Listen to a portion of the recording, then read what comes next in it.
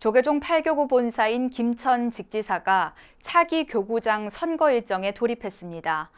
직지사는 다음 달 17일 경내 설법전에서 본사 주지 후보자 선출을 위한 산중총회를 엽니다. 본사 주지 후보 자격은 법계 종덕 이상, 70세 미만의 비구로 말사 주지를 8년 이상 지냈거나 교구 본사에서 4년 이상의 국장 소임을 맡아야 합니다. 입 후보자 등록 기간은 다음 달 5일부터 7일까지입니다.